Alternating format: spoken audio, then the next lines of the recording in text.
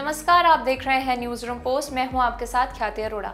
बॉलीवुड के भाईजान सलमान खान को मिली धमकी के राज से अब पर्दे खुलने लगे हैं। असल में महाराष्ट्र पुलिस ने जब लॉरेंस के शूटर से खास महाकाल को पुणे से पकड़ा तो उसने कई खुलासे कर दिए हैं, जिसमें से एक राज सलमान खान और उनके पिता सलीम खान को धमकी से भी जुड़ा है। पुलिस के सामने ये बात अब साफ़ हो गई है कि लॉरेंस के अलावा कनाडा में बैठे दो गैंगस्टर गोल्डी बराड़ और बिक्रमजीत सिंह बराड़ को तिगड़ी ने धमकी का सारा ताना बाना बुना था। इस बीच सलमान खान की धमकी भरी चिट्ठी के मास्टरमाइंड विक्रमजीत सिंह बराड़ की फ़ोटो सामने आई है। विक्रमजीत सिंह बराड़ कभी आनंद पाल का करीबी था। आनंद पाल के इनकाउंटर के बाद विक्रमजीत सिंह बराड़ लॉरेंस के गैंग से जुड़ गया। राजस्थान का रहने वाला विक्रमजीत सिंह बराड़ फ़िलहाल कनाडा में है। विक्रम को कनाडा शिफ्ट भी लॉरेंस बिश्नोई ने ही कराया था। दरअसल, हाल ही में दिल्ली पुलिस ने लॉरेंस के गैंग के गैंगस्टर काला राणा को थाईलैंड से डिपोर्ट करवाया था। लॉरेंस ने प्लान बी तैयार किया हुआ था। इसके तहत पहले गोल्डी बराड़ को कनाडा भगवाया, उसके बाद विक्रमजीत को कनाडा भेजा। सूत्रों के मुताबिक लॉरेंस ने कनाडा में गोल्डी को नॉर्थ इंडिया का ऑपरेशन संभालने को दिया, जबकि विक्रमजीत साउथ इंडिया का काम संभालता है। गोल्डे और विक्रमजीत ने मिलकर सलमान खान और सलीम खान को धमकी भरी चिट्ठी दी थी।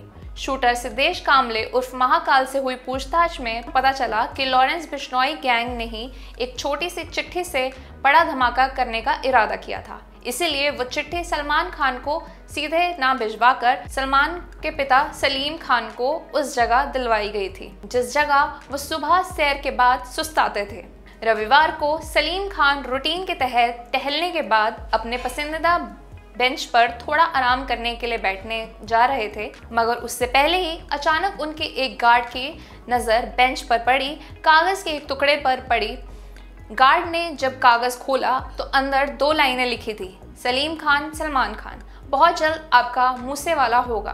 खत के नीचे नाम की दो जगह लिखी थी। बस जीबी और एलबी लिखा था।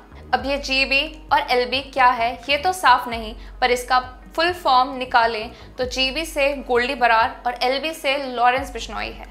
ज़ाहिर है, इस चिट्ठी के मिलने के बाद मुंबई पुलिस भी हरकत में आ गई। इत्तेफाक से ये लॉरेंस बिश्नोई ने पहले ही सलमान खान को धमकी दे रखी है। 2018 में लॉरेंस बिश्नोई ने बकायदा सलमान खान को जान से मारने की धमकी दी। सूत्रों के मुताबिक, बाद में पूछताछ में बताया था कि सलमान खान पर फ़िल्म रेडी की शूटिंग के दौरान हमला करने की साजिश की गई थी। मगर दूर से निशाना लगाने वाले राइफल का इंतज़ाम तब नहीं हो पाया था और जिस सनपत नेहरा को ये काम सौंपा गया, वो पकड़ा गया था।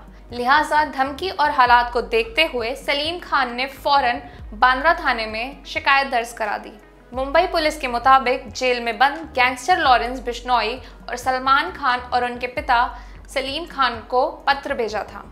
उसके गैंग के तीन लोग जालौर, राजस्थान से मुंबई में पत्र छोड़ने आए थे और आरोपी सौरभ महाकाल से मिले थे। इस वीडियो में फ़िलहाल इतना ही। वीडियो पसंद आया हो तो वीडियो को लाइक, कमेंट और शेयर भी कर दें। साथ ही हमारे चैनल को सब्सक्राइब भी कर लें। किसी और नई जानकारी के साथ आपसे फिर होगी मुलाकात। तब तक के लिए दीजिए इजाज़त। नमस्कार।